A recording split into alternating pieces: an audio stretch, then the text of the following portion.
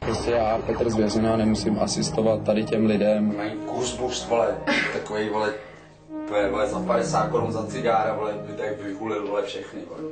Ztrácet měsíc, týden s takovouhle pakáží, když to mám s prominutím říct, jako. Pro mě, jak jsem z úplné rodiny, tak vím, že jsem dobrý člověk jenom kvůli tomu, že se mi dostalo takový výchový, jaký se mi dostalo.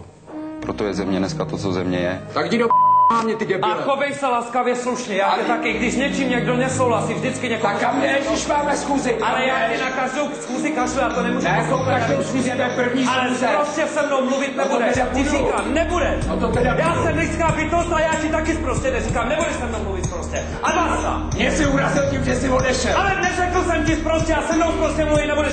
A vím, že ty lidi, co mi venku fandějí, tak mě mají rádi jako Petra Zvěřinu a, a ne jako prostě nějakýho šášulu, který tady bude prostě asistovat u toho, jak se tu celý den baví, tyjo, o tom, kdo má menzes, kdo, kdo kde nechal krvavou skvrnu, či je klub v koupelně.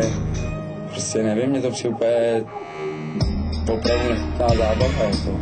Já vole, mám své morální hodnoty pevný a na nic si nehraju. Já jsem prostě tady za svou osobu. Já prostě nejsem člověk, který by tady chodil a, a ty seš prostě taková a ty seš makovej. Do levýho ucha, debilové, co tady asi dělám, ty vole?